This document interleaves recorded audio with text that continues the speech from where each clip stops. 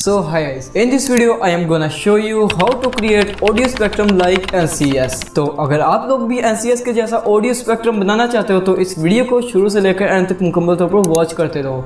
तो अगर आप लोग भी ये जानना चाहते हो कि आपको कौन सी वेबसाइट का यूज़ करना चाहिए ऑडियो स्पेक्ट्रम को बनाने के लिए उसको डाउनलोड करना पड़ेगा या नहीं उसकी आपको पेमेंट करनी पड़ेगी या नहीं और वो वेबसाइट जो है वो पीसी में ही सिर्फ़ चलेगी या फिर उसको मोबाइल में भी यूज़ कर सकते हो। तो इस सारे क्वेश्चन का आज मैं आपको हल बताने वाला हूँ। मतलब कि इनका आंसर देने वाला हूँ। तो अगर आप लोग भी इनमें से कोई सवाल लेकर इस वीडियो पर क्लिक कर चुके हो तो आप इस वीडियो को मुकम्मल तौर पर वॉच ज़रूर कर दीजिएगा, क्योंकि इस वीडियो में मैं आपको बहुत से क्वेश्चन का आंसर देने वाला हूँ।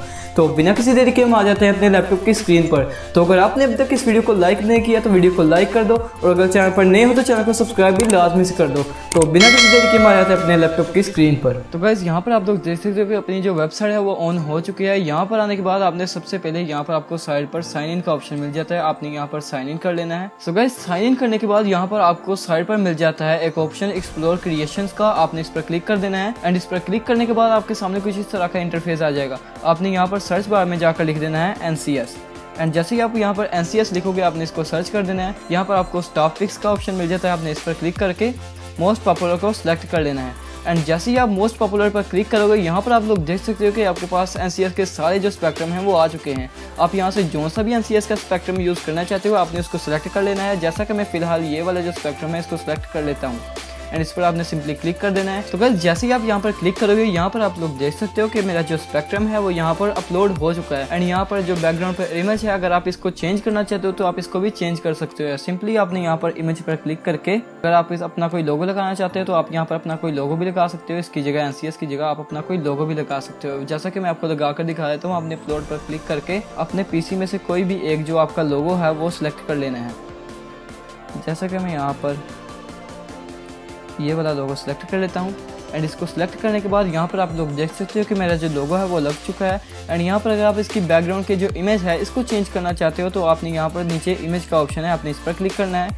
एंड इस पर क्लिक करने के बाद यहाँ पर आपने अपलोड पर क्लिक कर देना है। एंड अपलोड पर क्लिक करने के बाद भी आपने यहाँ पर कोई एक सी जो इमेज है जो आप बैकग्राउंड पर लगाना चाहते हो, आपने उसको ही सिलेक्ट कर लेना है। जैसे कि मैं यहाँ पर बैकग्राउंड में ये वाली इमेज लगा देता हूँ। एंड यहाँ पर आपने ये वाली इमेज लगाने के बाद आपका जो स्पेक्ट्रम है वो रेडी हो चुका है। एंड अगर आप इसको डाउनलोड करना चाहते हो तो आपको यहाँ पर साइड पर फ़ाइल का ऑप्शन मिल जाता है। एंड फ़ाइल में आने के बाद आपको यहाँ पर एक्सपोर्ट का ऑप्शन मिल जाता है। आपने इस पर क्लिक कर देना है। एंड जैसे ही आप एक्सपोर्ट पर क्लिक करोगे, यहाँ पर आपसे ये कहेगा पहले आप इसको साइन इन करो, फिर ही हम इसको एक्सपोर्ट करने देंगे। तो आपने यहाँ पर सबसे पहले अपनी एक ईमेल चूज़ कर लेनी है एंड ईमेल चूज़ करने के बाद आपने उसका पासवर्ड भी यहाँ पर लगा देना है.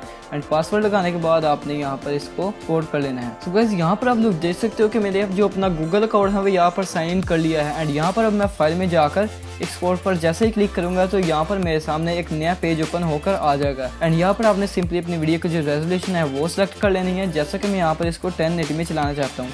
आप अगर इसको टेन से ऊपर करना चाहते हो तो आप ऊपर भी कर सकते हो। अगर आप इसको फोर में चलाना चाहते हो तो आप इसको फोर में भी एक्सपोर्ट कर सकते हो। जैसे कि मैं यहाँ पर इसको टेन में एक्सपोर्ट करना चाहता हूँ, आपने यहाँ पर टेन को क्लिक करके डन कर देना है। एंड डन करने के बाद यहाँ पर आपने एफपीएस को भी सेट कर लेना है। जैसा कि यहाँ पर मैक्सिमम जो एफपीएस है वो है 60 मैं फ़िलहाल इसके 60 एफपीएस ही रहने देता हूँ। एंड 60 एफपीएस को डन करने के बाद आपने यहाँ पर स्टार्ट एक्सपोर्ट पर क्लिक कर देना है। एंड जैसे ही आपने स्टार्ट एक्सपोर्टिंग पर क्लिक किया, यहाँ पर आप लोग देख सकते हो जो आपकी एक्सपोर्टिंग है वो स्टार्ट हो चुकी है। तो गैस आज की वीडियो हमारी यहीं तक थी। अगर आपको ये मेरी वीडियो अच्छी लगी हो तो आप मेरी वीडियो को लाइक और अगर चैनल पर नए हो तो चैनल को सब्सक्राइब लाजमी से कर लीजिएगा ताकि मजीद वाले वीडियो आपको जल्द से जल्द मिल सके। करेंगे तो बस इस वीडियो को हम ये पर करते हैं ख़त्म। मिलते हैं किसी अगली वीडियो में, तब तक के लिए अल्लाह हाफिज़।